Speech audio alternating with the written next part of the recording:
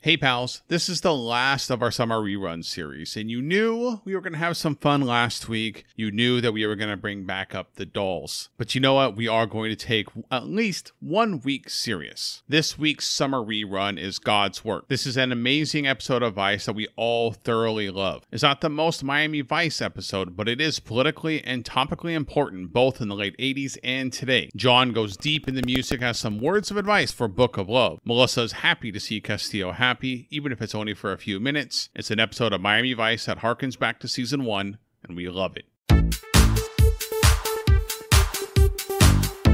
Hello and welcome to Go with the Heat. I'm Dominic. And I'm John. I'm Melissa. And this is your cultural guide to the phenomenon that was Miami Vice. This week, we're talking about season four, episode six, titled God's Work. It originally premiered on November 6, 1987. It is written by Edward Tiven, Tiven, and it's the only episode this person ever wrote. And there's no really no information out there about this person.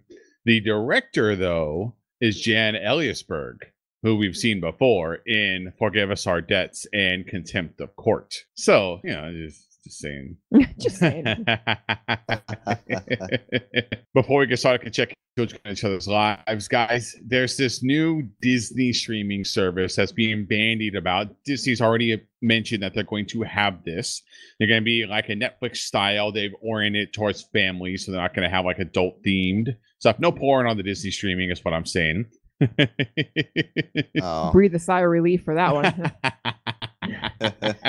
some of the news is trickling out about what the originals would be on the streaming service. Now, I'm going to name some names for you guys of shows that are either going to reboot or do shows around. First, they're already in talks to reboot The Muppets, but not the original Muppets. The Muppets ABC fake reality show that got oh, canceled okay. just a couple years ago. Okay. But here as the 80s podcast, this is the sections you guys might be interested in Father of the Bride, The Mighty Ducks, the Parent Trap, and Honey, I Shrunk the Kids. So I know that may not be 80s, might be early 90s. Okay. A lot about that stuff. You but... can't touch Father of the Bride. Like, don't try and make anything around that. It does, it's not going to have Steve yeah, Martin. Hasn't, the, so par- hasn't the Parent Trap been done like three times? Yeah, because that's what Lindsay Lohan was in. And then there's obviously the original with I don't know those pe- those women's names because they're the twins, and where it's like she plays twins, but yeah, um, like was made in what the the fifties or sixties. Why would you even do that? Why? Mm-hmm. Why do we need another Parent Trap? So how how on my so if you guys have a problems with those ones, I'm gonna I'm gonna say the, I have the problem with the Mighty Ducks. That's hilarious. I'm not gonna care about the Mighty Ducks unless it's gonna it's gonna have Joshua Jackson in it. But can never replace Emilio. True. I was more worried about Pacey. Was Pacey going to be in it? He's in the original. And then also, Honey, I Shrunk the Kids. Like, is that a TV show? A miniseries? Okay, but they know? already made a TV show out of Honey, I Shrunk the Kids, and it was on the Disney Channel in right after the movies. Mm-hmm. It was a long running show. So and that's... also, Rick Moranis fell off the face of the earth oh, no, in, in like the mid 90s. And so you wonder if he's going to make a comeback for this. Now, he's fallen off because he decided to dedicate his life to family after his wife passed away. Oh, I didn't but, know that. And, that. and that's why Rick Moranis disappeared. But on my questioning Honey, I Shrunk the Kids, but the world kind of needs Rick Moranis right now. Yeah, that's one I'm not questioning because they already made one of those. So that's not that far off. One thing I am curious about, and you guys have kids. I remember when me and Dominic were kids, they wouldn't release certain movies for years at a time. So it was like after 20 years, they would finally release Fox and the Hound on VHS and stuff. Like, do they pull that crap anymore? Yes, they or do like, for the DVDs. Like, yeah, they do. So like they'll okay. take it out of the vault. They'll say like it's going to go into the vault like Bugs Life, or, you know, or whatever. These they actually do the vault for streaming. Wow, too. they pull stuff. That's what I was going to ask. Wow, that's what I was going to ask. Is is this new Disney streaming going to give you access to all that stuff that they used to make you wait for? Yes, I, I definitely think that they're, they're going to do that. I also definitely think that when you want to watch Infinity War, it's going to be on the Disney streaming service for the first year. So you have to sign up for that in order to watch it. And then it'll be released on other platforms. Oh, F you, Disney. That's where you got him. You got him with that one. I'm going to feel bad it. for stealing that one. let's go talk about this week's Miami Vice episode. There's no real easy tra- transition here, uh, but I will say this is episode six. We've had about five stinkers. there was like one or two of them then that were okay. this is the first one of this season that we've had that was actually like really good, like yeah. back to classic yes. of Ice, strong episode. Mhm. So let's go talk about this week's Yes. episode in God's work. Okay, so when we open up, we're at the port. Tubbs, she's driving around in this caddy. The Vice team is all stationed around. Sonny in the bug van, not Switek's. Switek's actually humping, lifting boxes and stuff. Sorry, I was like, I thought you meant he was really humping. He was humping. it, They're watching. it kind of opens like an episode of The Wire. Kinda, yeah. There's Yeah, it's true. of- They're like deep, little feel of like deep undercover, watching this yacht you- that's heavily armed. Also, is like, is Sonny being punished? Is that why he's not with Tubbs? Is he because of last week? Is he like being punished for his? Hmm, interesting. I mean, because he wasn't really in, in this episode for the investigation part. Just, just saying, just putting it out there. Maybe they're actually punishing him for his shooting a kid. yeah, actually, and no one got killed in this. Very episode. true. Sorry, one person did, but not. You know, they didn't Yeah. murder the entire family. no, and, and it wasn't anything to do with Vice. this might killed. have something to do with what John was talking about last week. Yeah. Maybe. The less we involve Crockett, the less people die. Just thought I would throw that out there. Just an observation. well, the Vice team is waiting for a man named Francesco. Mhm. We're gonna call him Frankie in this episode. They're looking to make a move on him. They're setting up a deal where the Tubbs is going to undercover as Cooper is going to buy stolen goods, but the deal goes sideways really fast because Francesco sees a man in the yacht walking around. He thinks that Cooper set him up, but it turns out it's his brother Felipe who comes walking out and says, "Hey, come give your brother a kiss." and Tubbs Very- seems to be pretty relaxed strange about it family too. reunion starts happening, and I love, eh, yeah, and I love that Tubbs is full time still trying to get him to say something incriminating. Like, Yeah, you- what about this deal for the illegal products, man? he just goes with it. He's like, okay. We put a lot of work on the uh, in this. Come on, man. We just want to bust you. and we go to the opening credits while looking at Francesco's surprised face as he sees Esai Morales playing a different character. I'm not complaining. I like looking at Esai Morales. this time after the opening credits is normally when we talk about if we have an episode where there's a whole bunch of guest stars, like a whole bunch of big guest stars, we gotta talk about them right up front. And this week we're gonna take a look at those guest stars. Well, what does a Mexican actor, a Polish actor, a Puerto Rican actor, and an Italian actor all have in common? Uh, They're all in this episode. Oh, I was gonna guess they've all been in porn. well, that too. yeah, there's a whole So- bunch of guest stars in this episode, but none of them are really big names, except for Esai Morales. I was gonna say, obviously. excuse me, La Bamba, you ring a bell? Everyone else was like they were in movies and TV shows, but it was always guest appearances and you know secondary characters. So just you know they're accomplished. They're not you know Bruce Bruce accomplished. well, yeah, I mean, yeah, you know, there's there's a big list of actors that are in this episode, but it's not. Someone did a voice in Coco. For some of these people, it's their second or third appearance as a different character in the show, and so maybe True. we already talked about them previously. that is true. when we come back from the opening credits, we're at the precinct. Tubbs is talking to Gina and Switek. They actually heard back from, from the NYPD because they've been following the Cruz family, Francesco and their father Jorge. Jorge, for a long time. They have this big map on their wall, like a Godfather style, right? Like they got these brackets of pictures of everyone that's part Oh, of the yeah. family. It's even more Godfather style because uh, they're talking about how one of the sons of the Don like left the family and went to went to be like legit, like a legit stockbroker and make all kinds of money. And so like now he's back. And so it's kind of like the Godfather where the son leaves, goes to the army, and then comes back. Michael. It's a little bit strange that every picture's like a headshot. like an acting headshot that they take in. Look at the range on this family. Look at this one. This one, he's being Italian. This one's being a pirate. it just- it just looked like headshots. Like all their pictures was like, this is kind of weird. How do you get these pictures of them? Tubbs is very worked up that Felipe's back in town too. Says that Francesco is like quote Fred Flintstone to Felipe. I don't. I don't, I don't know what that means, either. He Uh, really doesn't like. He does not like uh, Francesco. so now the Vice what doesn't really. he like about Fred Flintstone? yeah, I know. Insulted. I'm insulted for Fred.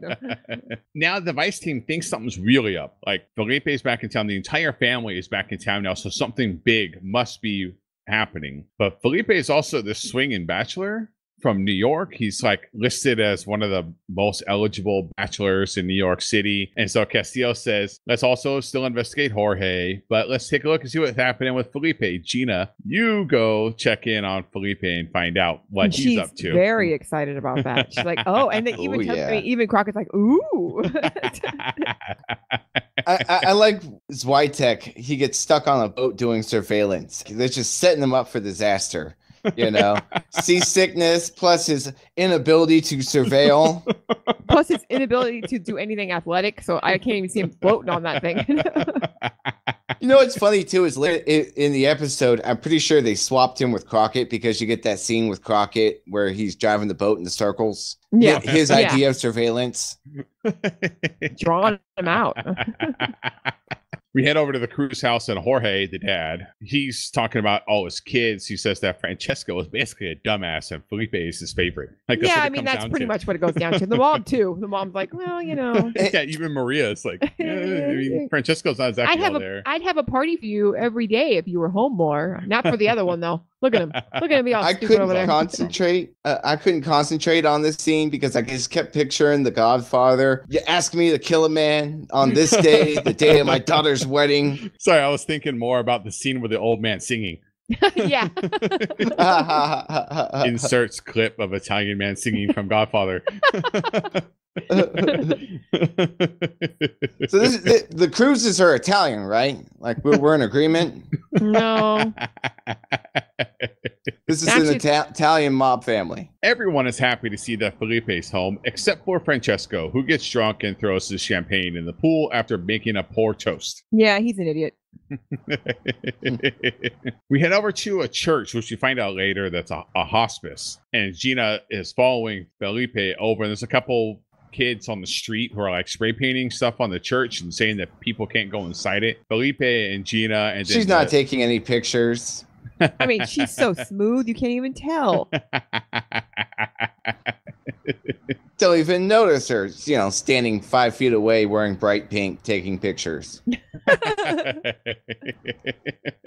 Felipe and Gina talk for a couple of minutes. Felipe goes and talks to another man, while Gina secretly takes some pictures and sees on the paper that it's a hospice for people with AIDS. See, it pays make appointments. Meanwhile, Tubbs is out getting chased by forklifts at a warehouse. Jumping It's a killer around. forklifft. Well, I Tubbs' should worst say, nightmare. Everyone knows is- he's got a fear, irrational fear of forklifts. Dude, I love the, You mean on- Tubbs on the scene where he climbs man. on top of the forklift, and, you see like it's clearly a stunt double riding around on top of there. Yeah, he's clearly much older. Stunt double. Tubbs senior again. He's Uh, come, come back. I got Tubbs' stunt doubles like Morgan Freeman up there on top of the forklift. yeah. Eventually, Tubbs does forklift driver at gunpoint, and then Francesco pops out. They, they excuse the forklift driver, He's like, I'm leaving. and Frankie and Cooper talk. It's a way to treat your business partner. Tubbs immediately calls him out too and says, like, hey, I hear Felipe's back in town, so I don't need to talk to you anymore. Yeah, I'm doing business with him. Like, except he doesn't do business. So oh. I don't know. Francesco obviously hands, handles that well. Yeah, no, no, he's not mad at He's all. not mad or jealous or anything. Oh yeah, uh, Tu- Tubbs just basically said that called him his, you know, brother's bitch. You know, I mean, of course he's gonna. That's gonna go well. so Tubbs leaves. He's like, ah, you know what? It's been a long day. I've been up to a bunch of stuff. I got chased by, by a possessed forklift. I barely got away. You know what I want to do? I want to have a picnic with the boys. And so he meets up with Castillo Yeah, and Sonny, yeah. and they're having a picnic out at the park. Totally, man. It's just just three guys in suits having a picnic at the park. Nothing weird about that at all. Taking a stroll right by the water. I love the cat, dude. The cameraman must have been so dizzy after that too, because he's just going in circles. Tubbs says that the Cruz family is losing both the ducks, so they're not they're having troubles getting shipments in. Tubbs says that people aren't scared of them anymore, and that's why Felipe came back. That's that uh, must be why he came back. But Castillo says Gina got a picture of Felipe meeting his uncle at the AIDS clinic, and also the clinic isn't very popular in the neighborhood because obviously they treat people with AIDS. And there's like some other weird So- dynamic that's happening here. They don't know what to think of it. They don't know why he's there. They think that that he might be using the AIDS clinic as like some kind of secret drug drop or you know whatever something else is going on that he cle- clearly which this is what bugged me the whole time why can't he just be there because he cares, cares about people with aids like what Yeah, like that was what was bugging me too. Why do the people around there treat them like they're lepers? They're not. They're not contagious. Like, yeah uh, exactly You know. but yeah, and that's the That's the whole 80s, that's I a big part of this episode, Yeah. right? Is that the AIDS scare in the 80s. Mhm. Mhm. Uh, there's multiple angles here, so we'll get to that at the end. Castillo says that Felipe and his uncle Ernesto, who's the priest at the church and who runs the hospice, were really close. But Ernesto was never part of the business. He never wanted to do anything with it. He was never a part of it. So, but what might be happening is that for Jorge, that him being involved with AIDS patients might be hurting his business. So let's go investigate that. And Sonny and Tubbs try to say, okay, well, we'll go and talk to him. Like, no, no, no, you guys know your roles. Gina's got Felipe covered. Don't go near the hospice. Just leave her alone.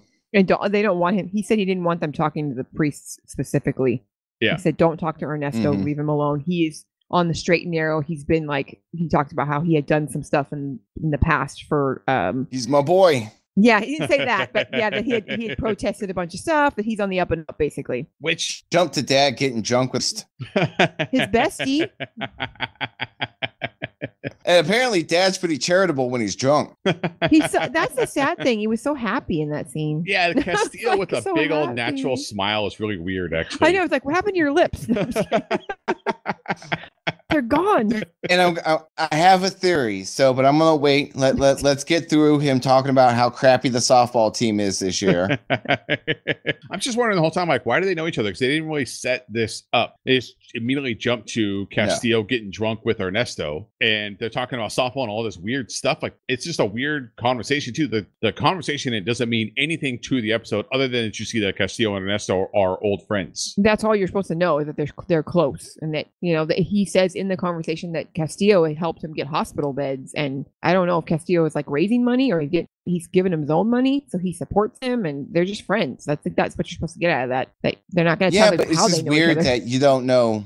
Yeah, you don't get any kind of stuff, and it spurs off this whole side adventure Castillo goes on because he's running around while the Vice Squad's out doing popping up in all these different places, uh, talking to priests after this. You know, Yeah, we just get like little snippets of what Castillo's up to, not the entire story, which I guess is the most Castillo thing ever. yeah, because you never gonna- know what the hell he's up to. You know that they pro- they protested together. He said they st- they stood arm in arm, whatever, next to each shoulder to shoulder, and protested together. I feel like I know Castillo more physically than I do emotionally. You know that mustache. I After just- that whole speedo incident.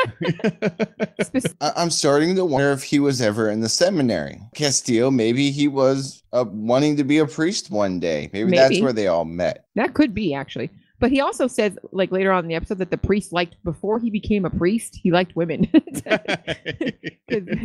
he also Yeah, said that, just- that never I- I changed. think yep. yeah, he said that never changed. I- That was. I was that gonna the wait, but there's a picture later. Dad's sitting in his office and he's looking at a picture, and it, you don't get it it's too quick to see Castillo in the picture. But I swear he's reminiscing about being in the seminary with them. Like I, I want to. Pretty sure they're all they all have collars. No, they don't. They don't. He's wearing like a regular shirt. I think what it's supposed to indicate is that before Ernesto became a priest, they were friends and they protested together. After they get all liquored up, man, Ernesto heads home. He's got a sweet ass home too, some big shutters on the windows and stuff. Like thought the house was creepy. I thought we were getting a return of the meat fondler. yeah, the suspenseful music starts to pick up. Got a point of view camera shot. Someone coming into the house. Someone very nicely dressed, nice shoes, slacks. Comes up to the top of the stairs, sees Ernesto. Ernesto turns. Doesn't They're gonna have a put- shock. He's to gonna put a horse head in his knee. Him. Yes, sorry, he has a shocked look, but not a scared look. He's just shocked, like he recognizes the person that's there. He's surprised that it's them. Yeah, he actually smiles at first when he sees them. He's like, "Oh," and then it's like, "Oh." Yeah, like almost at first, like he was gonna share his Cinnabon, and then he realized like what he was doing there, yeah. and, and then the the d bag shoots him before he can even enjoy the Cinnabon, and, and then doesn't even take it. A complete waste of a Cinnabon. All those pastries in that bag, and none of them got eaten. the next day during the investigation, you see Castillo there. He's explaining to the uh, to homicide that Ernesto's a great guy. He was never involved in any of the crew stuff. He's very trusting, so of course his door would be open. He'd be accepting anyone that would come into his house. But a nurse that works at the hospice saw someone named Ricky, who we'll meet later, run away fr- from the house that night. They have some leads that they can follow up on, but Ernesto's dead, and also ha- they've murdered someone who's supposed to be someone good for the community, and now Dad is taking this shit seriously. Yeah, he's not happy at all. I don't understand why he doesn't just Oh, tell them at that point then that he knows them. Why do you think he doesn't say like, "Hey, I kind of have a personal relationship with this man"? No, I'm not going to say anything. Because then he wouldn't be mysterious. it's true. That's my question about this whole thing is why he didn't tell anyone else how close he was with with Ernesto. But I guess Unless he thought that people would think that there's something like he should recuse himself, in which he should if he was that close. But I don't think that's it. I think Um, he literally just doesn't want to open up. He's, it's just, I think it's you're right. It's just the most Castillo way to handle it. If he had did had come out and, and said in the open, then it wouldn't be him. He'd be somebody else. It'd be like Crockett. Yeah, I knew him. Me, we were best I was gonna say maybe he just doesn't like everyone at Vice, just hates all their guts. Um, so, or maybe he's just embarrassed at being an AIDS activist. Could be. that could be it too. That maybe Yeah. he didn't want that. To, maybe that's part of it. He didn't want it to come to light that he had was involved in helping. yeah, yeah, that could be. He I was the think about that one. He was the one that suggested the anti-AIDS activist being a potential motive. Yeah, he was really pushing on that. That that would be those people that didn't want him in the neighborhood. Well, and this is what the Vice team's doing at the precinct. They're discussing all possible connections. Trudy found a match from one of the people that Gina saw at the clinic from the NYPD mugshots. It's an old friend of Felipe, Louis Garcia, who also knows someone named Franco Diaz. So these families are all connected. He's and his son. yeah, well, and right? Franco Diaz is Ricky Diaz's dad, who was there seen running away that night. So there's this weird family Oh, okay, loop gotcha. that that there could be, but they've had no contact Eh. recently. And then Crockett spends 36 blabbing about stuff and pointing at stuff with the pointer, which I was just thinking, how the hell did he get the pointer? Who gave him that? Haven't you figured out he's the lead detective on everything? So that's why he's got the pointer. Castillo wants Gina to continue her work at the clinic and Felipe, and Castillo's going to continue to take this very personal. He's going to go off. He knows what he needs to do. He's going to go take care of some things. At the funeral, the whole Cruz family is there, and the protesters are there too, because now the Cruz family is mixed up in protecting AIDS patients. And at the time, for the 80s, AIDS being linked to homosexuality, Yeah. thinking that that it's like quote unquote the gay disease. So there was a huge stigma. Yeah, so Yeah. there's these protesters at Ernesto's funeral because of his work with AIDS patients. Yeah, and how they didn't want it in their neighborhood. Gina catches Felipe at the bar after, and Felipe says that Ernesto was his hero. He was doing God's work. Gina says she's concerned about her friends who won't be able to go to the clinic anymore. And Felipe says, I'm here to help. Get my car. Let's go over there. We'll make sure that the hospice is still going to be there. It's important to me that my uncle's work doesn't disappear. I want to make sure that your friends have somewhere to go. Felipe's just a good guy. Yeah, he- uh, more and more, it's just like he's a regular guy. And Gina just wants wants to spend some time with Felipe, some nice time alone. yeah, she's maybe in not a dark complaining. room. And meanwhile, at a different church, Castillo's talking to a different priest. He's like the head priest. That's yeah, why, he's like the archbishop, Yeah. archdiocese, something like that. yeah, of the area or something. Mhm. I, I can sum this up pretty, pretty well. The head honcho priest pretty much tells dad to, to, to keep their name out, out his mouth throughout the Pretty investigation. much, Like, yeah. don't, don't throw shade over here. keep it out of the media. Don't mention that it was in a tough neighborhood. Like, just keep it all out of there. Don't talk about it. Don't talk about the Cruz family, and don't talk about the connection to the an- the people that were anti-gay. I mean, I guess sorry, anti-AIDS. I guess would be the word. Gina and Felipe show up at the hospice, and the same nurse who had seen Ricky Diaz the night before runs up and says that they got notice of vacating tw- 24 hours and actually moving people out, like in hospital beds, out of the hospice. Just then, Ricky shows up and Gina asks the nurse if that was the same kid that she saw at Ernesto's house. She said yes. And Felipe takes off after Ricky. Ricky and his friends run. Now, hold on a second. I mentioned this last week. Felipe barely catches Ricky on the stairwell. Tackles him, then they run up the stairwell. Gina's forced on the stairwell to pull her gun and show her badge because Ricky's friends pull a gun. Now everyone's surprised to find out that Gina's a cop. But that's what I was mentioning last week. Shame on the Vice men for not being able to catch criminals. And Gina and Trudy can do that shit wearing tight, short clothes And and, really tall heels. She Yeah. ran them down in her heels down the street. I know. And she Not kept just up with that, them. but- Yeah. Yeah, and she had a standoff stairs with four teens, one of them with a gun, another one with nunchucks. Did you see the nunchucks? What are nunchucks gonna do with against a gun, though? I'm just saying, you know, Gina, you know, she's she's a badass. She, Yeah, she she took is. all of them, all backed off. last week, Trudy was mowing people down, running in between barrels in her heels. Now Gina ran someone down from 300 yards out in heels. Like, just saying. She's like a police dog. Meanwhile, Stan needs help chasing down the hot dog truck. Like, he has had too many hot dogs. It is true. Meanwhile, at the precinct, Tubbs is interrogating Ricky. He's trying to do his bad cop routine, but it's not working. And he says, "Well, fine, we'll just turn you over to the Cruz family." And then Ricky starts to pay attention. Like, what like, are you no, talking what? about? Huh? Like, well, they think you murdered Ernesto. And Ricky's like, well, I didn't. It's like, well, they do. And so good luck. doesn't matter. later." It doesn't matter you did. and we'll let them kill you because we don't care. Pretty much. Haven't you ever worked with Vice before? All we gotta do is put you in witness protection, and you're dead. The end of the scene gets me because he goes, uh, he says that I saw a man in a suit and tie, and immediately dad calls and goes, We gotta get Louis. yeah, Like, he just I- thinks that that's who it is right away. I- Is he the other one in the suit and a tie in this gang? Like, uh, how did he know?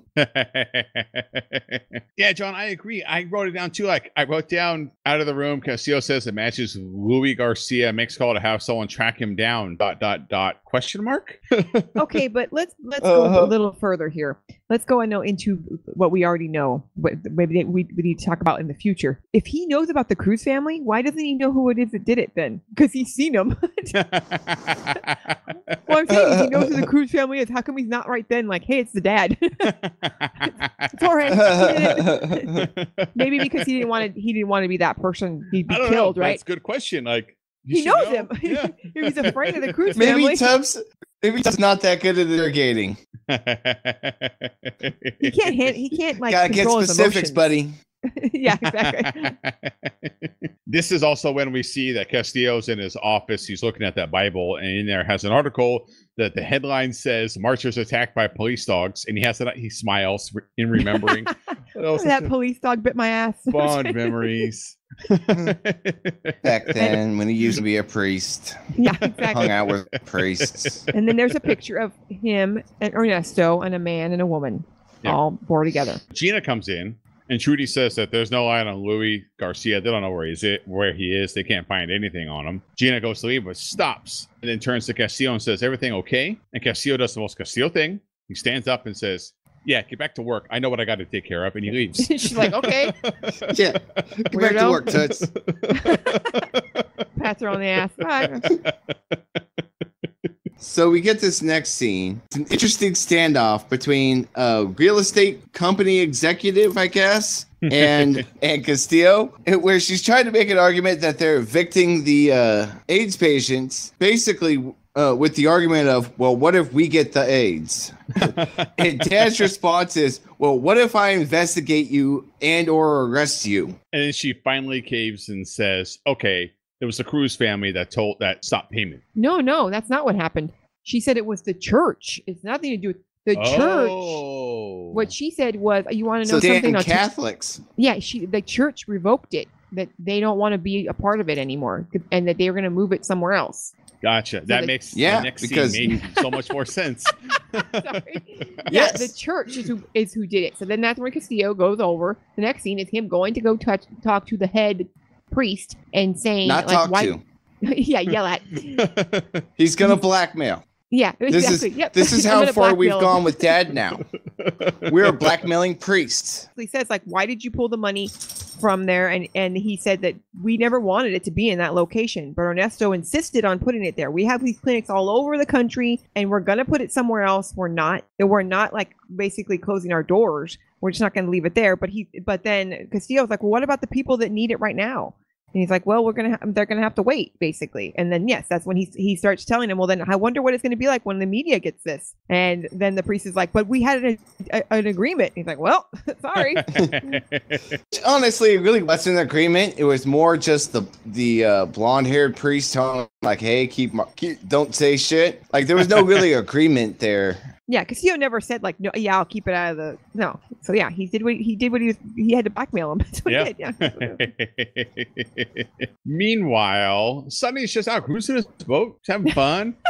Dude, I'm saying Doing- this is Crockett's idea of boat surveillance. I'm gonna drive really fast in circles until someone sees me and chases me.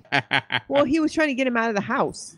well, he was like, no, I think what it is is like he was pretending like why his boat had to stop right there. He was just out Yeah, for a oh, yeah. cruise and then it breaks down and he lifts it up and he's Yeah. watching binoculars. So I text sees Felipe leave, but Francesco's men are watching him too. So then they take off after him and then Sonny whole thing leads them on on, a yeah. chase. Sonny's having so much fun on that chase too. Don Johnson knows how to drive a boat. Okay, let's just get this straight. That was not a stunt wanna- double. I, I want to point out that one, you don't need binoculars to fix a boat. Um, well, you know, two, you've two, never fixed a boat in, before. in- in a scene that I thought was supposed to be Sonny tailing the bad guy, turned into a Sonny ch- chase montage. and three, it ended in the most hilarious fashion with one of the Cruz brothers falling out of the boat and getting really wet, and then Crockett doing the most awesome thing and flipping around, coming back and honking and like I'm assuming flipping him off because that's the only thing that I could picture in my head. yeah, and then then he's like the, the Cruz brothers like shaking his fist at him, like I'll get you. First of all, like he didn't know who he is, so what what did he even do? They see some random suspicious guy in a boat. uh, And they go, "We're gonna chase him in our boat." They chase this guy. Then he falls out, and then he just Crockett flips around and honks at him and eggs him on. I, I just thought that was great. and now we're back to classic Vice because classic Vice season one and two, and a little bit in season three, they do this. And John pointed it out back then too, where they do this. They have something really funny happen right before something really serious is about to yeah, happen. we're gonna hit you right in the gut. and that's exactly what happens Daytime here. Emmy. yes. Felipe has gone over and he's with Louis. Louis is clearly sick and he's dying. He's the one that's ha- that has AIDS. He's the reason why Felipe came back. They were childhood friends, and we find out in the scene that they were also in a relationship At one time, yeah. at one point in time, and then have since broken up. But they're still they're close friends. They've known each other for a long time. They've been family friends since, as Gina said earlier in the episode, since the sandbox. Yep, they've been because their dads were part like business partners. And Castillo. Speaking of dad, Steele's creepily staying in the doorway. I know that was Just staring. so creepy. Like, I'm gonna watch this Like touching they're having moment. this, yeah, this really touching moment. It's going on in this room. And there's Castillo kind of half in the doorway, just staring. Yeah, he was like trying to hide, but not really.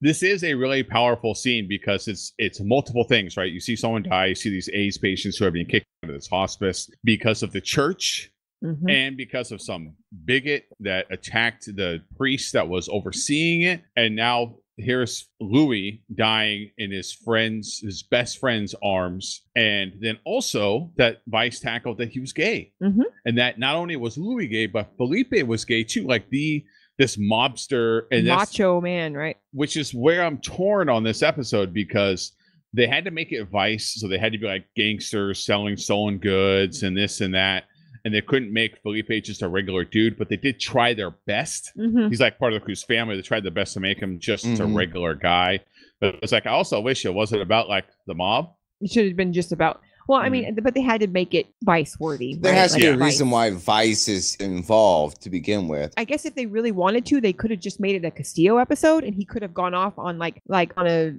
renegade thing. Like his friend gets killed, then he goes off and investigates why he was killed, and he finds out, you know. But but then there wouldn't have been there wouldn't be that sucker punch of this person dying, and they had a relationship, and he was gay, and because there's nothing to connect that to Vice. I kind of was on the opposite side. Is that um, I thought I thought it was a really good episode. I just wish there was a little bit more of the criminal el- element involved in it because I felt like we got uh, like at this point we gotten so far away from the actual criminal investigation, focusing on like with, with p- patients getting kicked out and stuff like that. That like in a couple scenes we have that scene with Tubbs talking to Castillo and they're like, we can go, we can go get him now, right? A- and I literally wrote down like, oh, good, we can finally get back to work. And the scene also ends in a very Castillo way, where then Castillo says, "Don't leave the city," and he just walks out of the room. Hey, sorry, I watched Yeah. that touching moment, but don't leave, okay?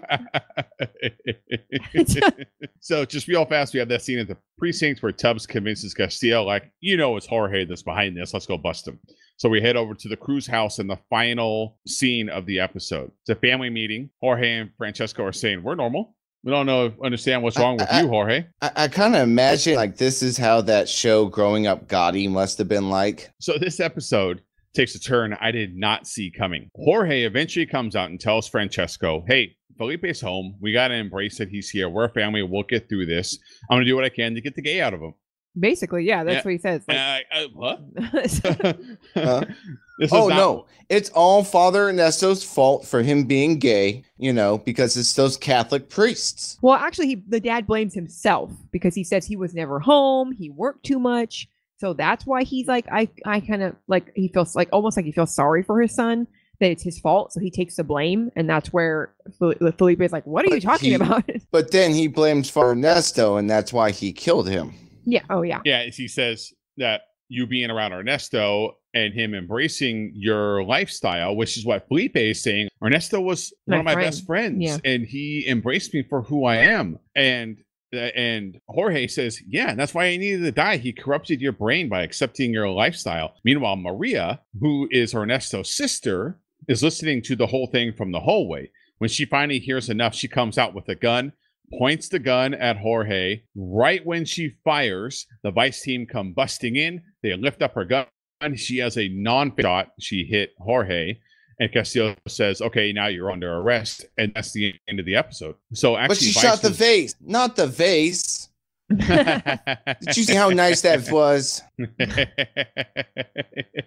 and I'm going to talk more about this in my final thoughts, but all credit to Vice here. All credit for not taking the easy way out and having an episode where they have Felipe say, I'm gay because that's who I am.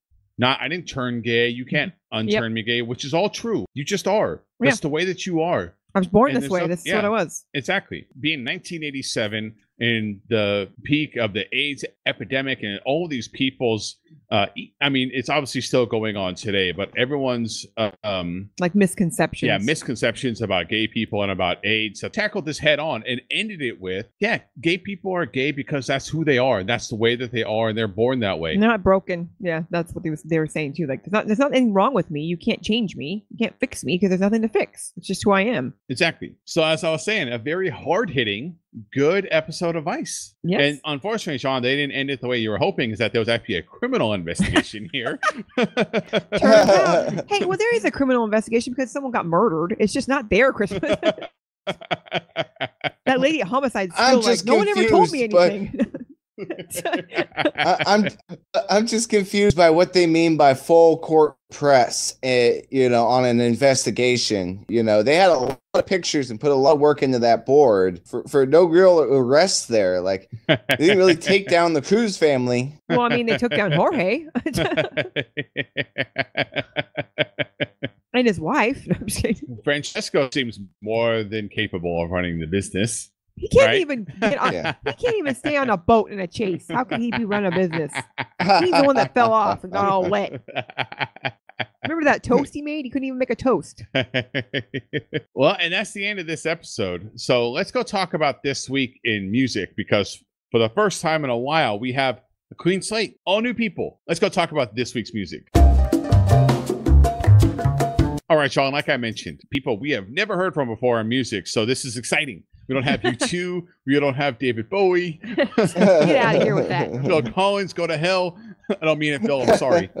what do you got for this this week? Okay, so let's get started with Yin and Yang, The Flower Pot Band by Love and Rockets. So I'm going to be brief with them uh, only because they will return in the episode later on this season called Love at First Sight. They are an English alternative rock band that's mainly uh, spanned from they were formed in 85 and they lasted until about 99 the members were uh, were david ash david j and kevin haskins. And the name of the band actually comes from uh, love and rockets the comic book series by the hernandez brothers. They are actually made up of a couple different former bands but they went from uh, kind of a gothic rock to a brighter, more pop influenced sound. Their first major hit was actually a cover of a Motown classic called Ball of Confusion. Their biggest hit by far is uh, the T Rex inspired So Alive, which hit the number three on the Hot 100. And I think my favorite thing that they did, they did a project called The Bubble Men Are Coming under the alias The Bubble Men. it sounds like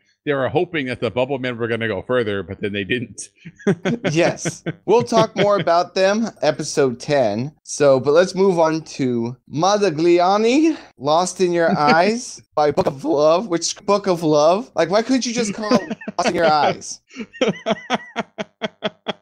See it? They're an American synth pop band formed in 1983. Uh, they were formed in Philadelphia, but later based in New York. And what I mean by that is that they were led by the voc- vocalist Susan Ottaviano, with Ted Ottaviano on keyboard. No relation. What? you heard me right.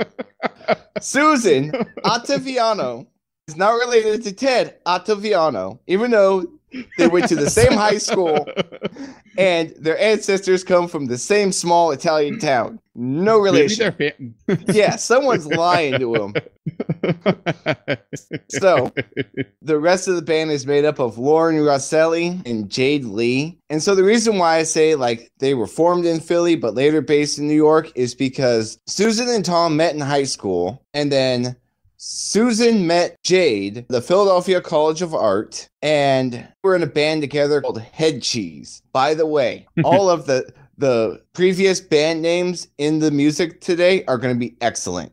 So, back to Head Cheese. That was uh, Susan and Jade's band. And then Tom and Lauren met in New York art school. They decided to create a long distance band with half the band being in Philly and the other half being in New York. Okay. Yeah. Yeah, like, as if that's not complicated. They started putting uh, stuff together, and eventually Susan and Jade would move to New York, and they would finally get their first exposure, opening up for the Depe- for Depeche Mode for their 1985 and their 1986 tours. And that actually became a common theme with them. The Book of Love pretty much throughout their span repeatedly would open up for Depeche Mode. Now, them themselves, they would have seven singles land on the Billboard top dance list between 1985 and 93. So they did see some pretty good success themselves. Their most popular song, and the reason they were probably used in this episode was their song "Pretty Boys and Pretty Girls," which is was one of the first songs to actually openly address the AIDS epidemic. Um, and it actually uh, uh, was their only hit landing in the Hot 100, peaking at number 90 in 1988. Um, their biggest hit was the song about the AIDS epidemic, so it makes sense they're in the episode. I'm surprised they didn't use that song, but maybe it was a little too on the nose. a few other things. This song, Lost in Your Eyes, I'm not going to say the first part. uh, was also featured in John Hughes's Planes, Trains, and Automobiles. 1991 song "Sunny Day" uh, was featured in the movie Silence of the Lambs. And actually, in Silence of the Lambs, in the scene that they used the song, Lauren Roselli, who was in the band, actually made a cameo in the scene with Jodie Foster. Hey, I'm gonna I'm gonna tell you guys something that's gonna make you mad. Uh, Planes, Trains, and Automobiles was released on November 25th, 1987. It never reached number one in the box office. Running Man gave Really? way to Three Men and a Baby. So wait, so three men and a baby, three men and a baby over planes, trains, and automobiles. Yeah, and then in between there, Throw a Mama from the Train and Eddie Murphy Raw will both win weekends and be number one at the box office. And Planes, Trains, and Automobiles will never reach number one in the box office. And I remember when I looked up the song, John, I saw the still from Planes, Trains, and Automobiles, and I'm like, okay. And went and look, looked up the movies, and I'm like, what? What? hmm Yeah, there's something wrong with people in the 80s. At one point in time, people were excited about a Street Fighter movie. So I don't know. Maybe the 90s weren't much better either. hey, you leave Jean-Claude Van Damme alone. so other song theirs that were featured in movies the song enchanted was in 1993's naked in new york and the song i touch roses made it in the soundtrack for american psycho Uh, that movie, American Psycho, set in the 80s. oh yeah, it's set in the eighties. Yeah, like, yeah. what? Oh, yeah. 1986 or something like that. Yep. I hate that movie. Mm. Sorry. sorry. No, I'm just in 2013 they would re- reunite during a club date tours and would work on new material but ultimately band kind of faded out in the 90s and everyone kind of did different stuff tom would spend most of the 90s working in music and making remixes for artists like fleetwood mac and hole and david byrne susan would actually attend the culinary institute of Institute of America and the Institute of Culinary Education in New York and become a highly respected food stylist. Wait, Um, so turn. like she's got recipes. that took that, that, took a turn. You're like, okay, she, she'll sing you a song and cook you a great meal. You're like, food stylist. Like, wait, wait, Yeah, what's a what, what's Yeah. a food stylist? yeah. Tom's not sister, distant cousin Susan. Um, became a food stylist. She she did all kinds of work with like food ads for like uh oh, okay. Kraft and and all these people. But she's also been has like all these recipes and articles in like Parade magazine and all that. All those cooking magazines. I don't know any of them. So They're all owned by Condé Nast. Yeah, they're all like cooking light, you know, whatever, fancy cooking. Yeah. I don't know. yeah, but a- a- actually, she's kind of a big deal. Lauren Roselli, the one who had the uh, the guest appearance in uh, in Silence of the Lambs, she would actually continue acting. She would get married and be and take the name Lauren Johnson, and she would be in the movies Philadelphia. Beloved and the Manchurian Candidate. So, Lots of work and with not to leave out, yeah. Well, I think we'd all like to work with Denzel. Yes. Yes, we would. And not to leave Jade Lee out, Jade Lee would become a graphic design and artist. So now we get to Nine Million Rainy Days by Jesus and Mary Chain.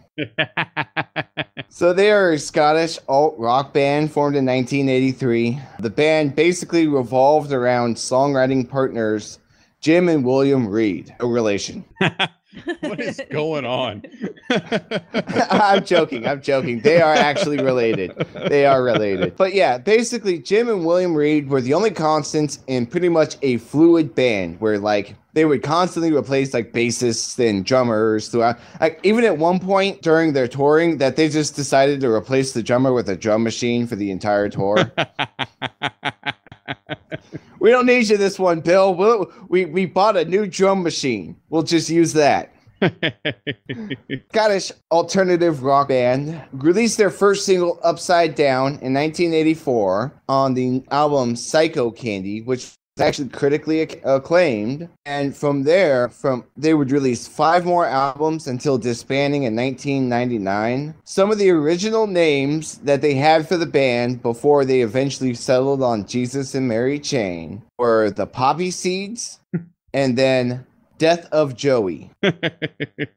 I love the their their beginning. So like when they first started out, they started out playing in small in front of small audiences, and during early shows, which I love, the author of the biography specifically wrote, typically amphi- amphetamine fueled short gigs lasting about 20 minutes with the band playing with their backs to the audience.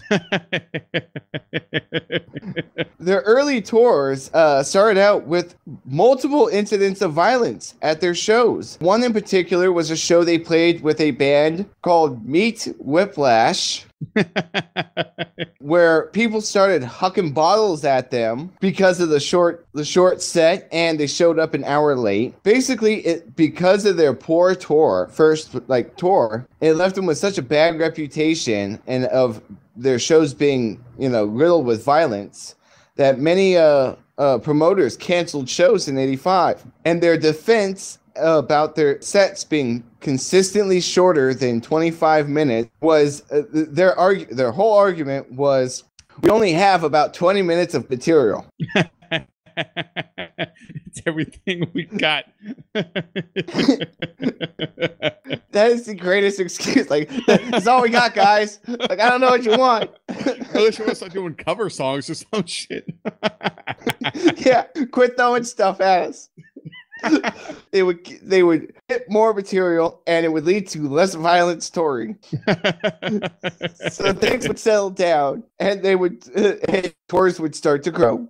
And then in 87 their reputation would take another hit after while being heckled all show by a group in the audience, Jim Reid would eventually throw his mic stand at him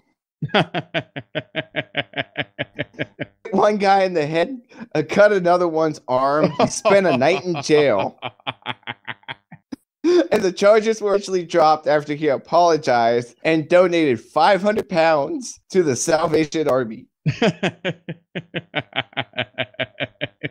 After years of fluid changes in the band, Reid Brothers, with the Reid Brothers being the only constant, in 1999, things finally came to a head William would leave the band after falling out with guitarist Ben Lurie on the tour bus before a show. At that same show, Jim would appear very drunk on stage, barely be able to walk or stand, let alone sing. The band would re uh, well, a promoter would refund the audience for their tickets and they would finish the tour and call it quits. They still let them finish the So- tour? That's the crazy thing. So, a- after the band was over, William would start a solo career under the name Lazycame. Jim would found the band Free Heat with Ben Lurie, and neither project would see very much success. So in 2000s, they would reunite, form a few shows, and we would get the traditional box sets and greatest hits. And then they all would 20 re- minutes they long. actually released, yeah, I know, all 20 minutes of it. It, it. It's in Vine form. make put some new material together. 2017, they released "Damage and Joy," first album since 1998, and then they a few of the other things they have uh, their songs "Just Like Honey" was was featured in the movie Lost in Translation, as well as songs in Adventureland, The Crow, and Pet Sematary 2. Um, and for you, Dominic, they are referenced in the Simpsons episode number 22, season 24, called Dangers of a Train, in which Reverend Lovejoy is reading a book called Jerry and uh, Jesus and Mary Train. Listen, not it's not like if you get featured in The Simpsons, you've made it. It's more like The Simpsons is going to mention everything that's ever happened in human history, and Or, The or Simpsons, anything that could happen. yeah, oh yeah, and The Simpsons will become your history class. You just watch every episode all the way through, and you'll learn everything that's ever happened in world history and what will happen in the coming 200 years. And with that, I'm fairly certain my music was longer than most of their original uh, uh, sets. longer than their set. I'm still weirded out that there's two people that have the same last name and went to the same high school that And they aren't know each other. So. What? No. Yes. Oh, oh, and their ancestors trace back to the same small Italian town. yeah. Not related at all. Not related. What What do you think is the band band name though? Head cheese or uh, w- whi- meat whiplash? oh, meat whip, meat whiplash is pretty good. well, let's go break down this episode for the last time and our final thoughts. All right, I'll go first because I've I've already kind of said what I thought about this episode. Is that um I thought it was really good. The storyline is really thought through. There's a couple plot holes, but really low for Vice. Like they covered it beginning to end. Yes, it was a little light on the crime side, like why Vice would be involved, but I'm going to skip all of that and ignore all of that because they took this straight on and we're willing to say being gay is just who you are and you're born that way and I don't care if you accept it or not this is just the way that I am. And I really appreciate that about this episode of Vice. I really appreciate that this was 1987 and, uh, and that they were talking about that. That's on national television in prime time that they were talking about that. So I'm willing to forgive everything else and just give all credit to this episode and the writers and the director of this episode that that they were willing to do that. But also John, as you mentioned, significantly less people died in this episode, and Sonny was kind of hard to find in this one too. So I'm not ignoring that part. Melissa, what are your final thoughts on this episode? Lay off a Sonny. No, I'm just kidding. this is He's a really had a rough start to the season. Yeah, okay, leave him alone already. No. This is a really good episode. I like this episode for many reasons, but mostly, like you said, they they tackle a really touchy subject that in the in those days people still had some very bad misconceptions about AIDS and being gay and how you could only get it that way and all these crazy things that we now know everyone knows now or should know are not true and are dangerous thoughts. So I think they took it head on and they did a good job. It doesn't bother me that it's not that much of, an investigation because I get so much Castillo and I love Castillo. I love Castillo backstories. I love Castillo when he's emotional and he smiles and and, he, and you're like, what's wrong with your face? No, I'm just kidding. when, he's a, when he's a creepy lurker and he's like just watching from afar. so I'm not. I have nothing to complain about. Like it, it is kind of weird that I still think that they put uh that Crockett's on like probation or something because he wasn't like, like deep in this investigation. He was doing surveillance and he was working with Switek, and we all know that when you work with Switek, you've done something wrong. So I, they got him on the back burner, and Tubbs was doing his own deal. So I don't know what the deal with that is, but like I said, it's a good episode. It's a sad episode. It makes me sad that scene where he, where his best friend and former boyfriend is dying, and it's like it, this is a really emotional thing. It's really sad, and I think Esai Morales was really good in it. yeah, I thought he did a really Issa good job. great Yeah. compared to what he was last time when he's Yeah, I know. come along fantastically as an actor. yes, Been practicing. Yeah, apparently.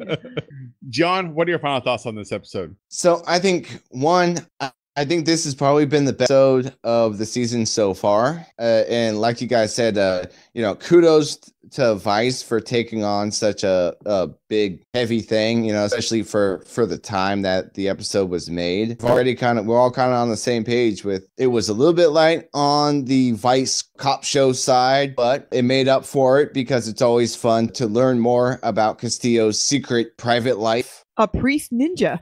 so uh, I just think it was a really, really good episode. I think it proves my point that the, the more you keep Crockett away from the actual police stuff, the less people die, the more things actually go the way they're supposed to go. I think the only thing with the episode that I was left wondering was kind of closing out the getting the Cruz family, you know, and arresting everybody. I feel like we kind of got lost into uh, other motives by the end of the episode, and then it was it wasn't about taking down a crime family anymore. I also So- wonder too in that last scene if the Vice team heard Jorge admit that he killed Ernesto. Because if the Cruz family are the only ones that heard it, then they're not going to rat him out. They they'll try and they'll get him off, and then Maria will try and murder him again. I'm pretty Yeah. sure it was supposed to be insinuated that they heard everything. But you know them, they're just lurking. Castillo's just lurking in the hallway, mm-hmm. waiting, waiting for it to uh, go uh, down uh, before he jumps in. He's very good at the at, at the just standing back in the hallway and staring all creepily. Um, And I definitely want more Crockett in the boat, getting people wet and honking at them. That was great. That was Don Johnson in his element, driving a boat.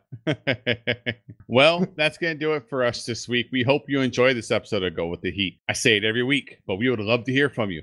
Email us go with the heat at gmail.com, twitter.com slash go with the heat, facebook.com slash go with the heat. You can find our website, go with the heat.com. If you didn't get it, Go with the heat. it's go with the heat. you can go on that website. You can click on support us. You can find all the ways to support. Support step number one go to your podcatcher platform of choice and give us a review. I'm going to ask, as always, to, for the highest review that you can give on that podcaster platform of choice. Some do stars, some do hearts, some do smileys, whatever it is. Just give us the five thumbs up or whatever the review status is, and then but don't write a review. No one reads the reviews. Write about your favorite Esai Morales, either TV show or a movie. Just just explain what your favorite thing is about Esai Morales. Tell us what you like better, head cheese or meat. uh, While you're on that website, check out the subscribe link. You can find all the ways to subscribe to the show. Recommend it to a friend. Shoot them a link. Maybe they'll watch it on YouTube. Maybe they'll listen to it on TuneIn. I don't know. Some people like to watch it on their TVs. I don't know. I'm not here to judge. It is weird, but I'm not here to judge. That's going to do it for us this week. We hope you enjoyed this episode, and we'll see y'all next time. bye, pals.